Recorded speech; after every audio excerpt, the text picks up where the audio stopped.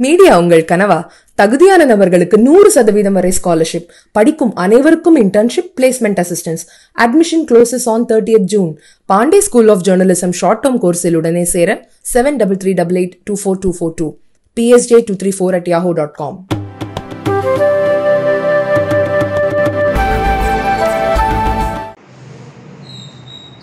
கல்வித்துறையில் மருத்துவம் படித்தவர்கள்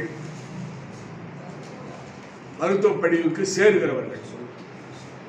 அது கீழ்நிலை படிப்பு எம்பிபிஎஸ் ஆக இருந்தாலும் சரி அல்லது எம்டிஎம்எஸ் ஆக இருந்தாலும் சரி அடுத்த ஆண்டிலிருந்து இந்தியா முழுவதும் பொது கலந்தாய்வு காமன் செலெக்ஷன் என்ற ஒரு முறையை கொண்டு வருகிறார்கள். இதனால் மாநிலங்களில் உள்ள மாணவ மாணவர்கள் மருத்துவக் கல்லூரியில் சேருவதற்கான வாய்ப்பு கிடைக்காது.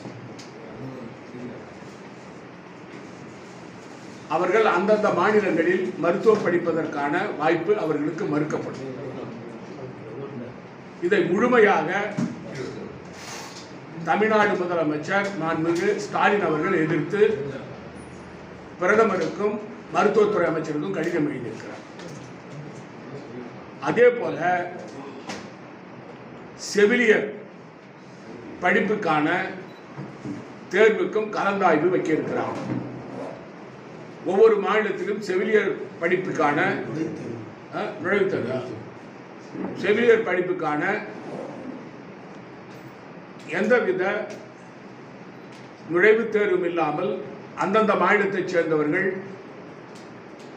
அந்த மாநிலங்களில் உள்ள செவிலியர் பள்ளிகளில் கல்லூரிகளில் சேர்த்து சேர்க்கப்பட்டார்கள் அதற்கும் நரேந்திர மோடி முற்றுப்புள்ளி வைத்து அதை மத்திய அரசுடைய கட்டுப்பாட்டில் கொண்டு வருகிறார்.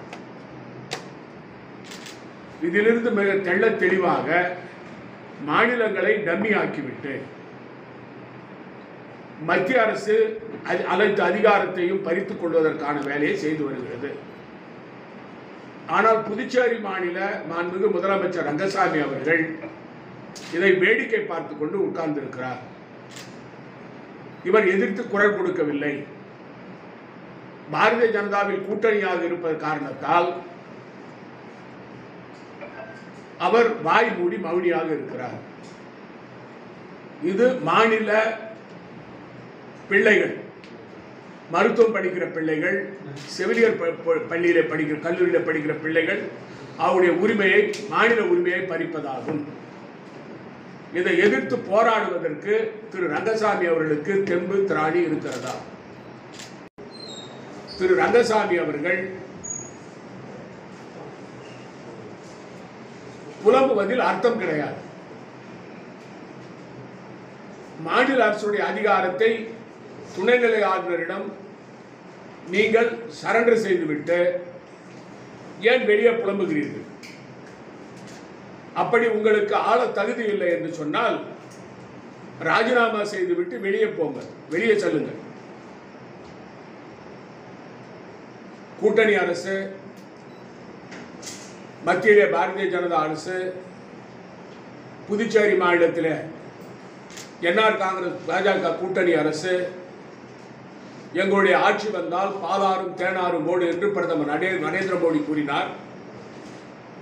திரு ரங்கசாமி அவர்கள் புதுச்சேரிக்கு மாநில அந்தஸ்து பெறுவதற்காகத்தான் பாரதிய ஜனதாவுடன் நான் கூட்டணி அமைத்திருக்கிறேன் என்று மக்கள் மத்தியில் சொல்லி வாக்குகளை மக்களை ஏமாற்றி வாங்கி இப்பொழுது என்னால் ஒன்றும் செய்ய முடியவில்லை. நான் ஏன் முதலமைச்சராக இருக்கிறேன் என்று முதலமைச்சர் கூறுவது கபட நாடகம். இதை யாரும் ஏற்றுக்கொள்ள மாட்டார்கள். அனைத்து கூட்டங்களையும் துணைநிலை ஆளுநர் அவருடைய அலுவலகத்திலே கூட்டுகிறார். முதலமைச்சர் அந்த கூட்டத்திலே இல்லை. சம்பந்தப்பட்ட துறையினுடைய அமைச்சர்கள் இல்லை. இது ஒரு நிர்வாகமா? சர்வாதிகாரி போல துணைநிலை ஆளுநர் பொறுப்பு டாக்டர் தமிழிசை சவுந்தரராஜன் அவர்கள் நடந்து கொண்டு நிர்வாகத்தை சீர்குலைக்கிறார். நீதிமன்றத்தை அவமதிக்கிறார். ஆனால் முதலமைச்சரும் அமைச்சர்களும் கை கட்டி கொண்டு துணைநிலை ஆளுநருக்கு சேவகம் பார்க்கிறார். அதனுடைய வெளிப்பாடு தான் நேற்றைய தினம் முதலமைச்சர் அவர்கள் செவிலியர்கள் எல்லாம் போராட்டம் நடத்திவிட்டு அவரை சந்திக்கும் பொழுது எனக்கு அதிகாரம் இல்லை என்று கைவிரிக்கிறார்